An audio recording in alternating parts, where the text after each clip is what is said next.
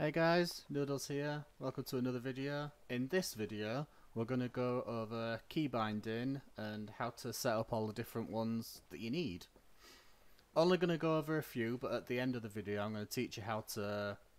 Well, I'm going to tell you how to like edit all the binds for whatever you need, because there's just so much stuff you can do.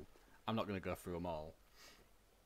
So the first thing is you need to press F1. That brings up the console. The console will look a bit like this.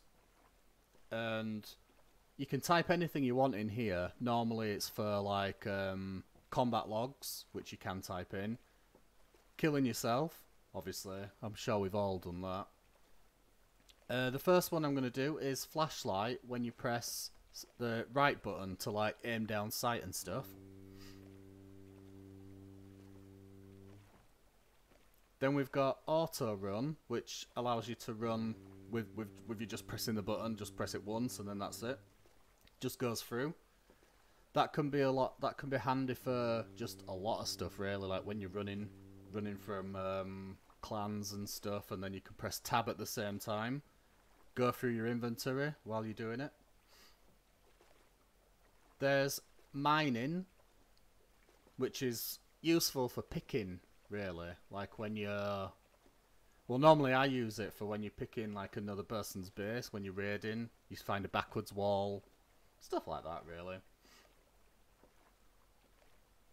And then another, another one I really like is auto crafting bandages. So you press the button and it'll craft one bandage, press it again for another, and so on. It, if you press it once, it won't just keep crafting loads and loads automatically. You have to keep pressing it for each one you want. But that's really handy. And then this is how you add everything so that you can put... All you have to put is you put bind at first, so it knows that you're wanting that command. Then you put the button or key that you want to actually craft, you know, that it's going to be for that. Then you have to put what you actually want it to put in there, so it can look like this. Right, so yeah, um, this was just a quick video going over key binding. Some people find it handy. But, yeah, um, thanks for watching.